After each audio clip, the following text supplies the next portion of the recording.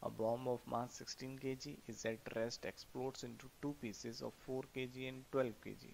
The velocity of 12 kg mass is 4 meter per second. Kinetic energy of the other masses.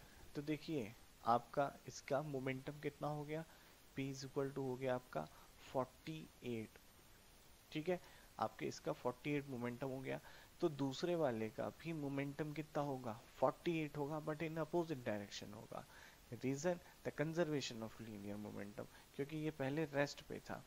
तो हमें पता है kinetic energy अगर हमें दूसरे वाले की लिखनी है तो काइनेटिक एनर्जी पी टू अगर अदर वन की लिखनी है तो P two square by two M two momentum का मैग्नीट्यूड तो सेम ही होगा। तो इसका square 48 eight into forty eight two into other one is जिसका मास कितना है?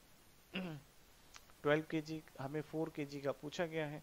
तो यहाँ पे 4 के जी लिख देंगे। तो ये 24 हो गया। और यहाँ पर आपका आ गया। तो ये हो जाएगा 288 जूल तो ऑप्शन भी सही हो जाता है।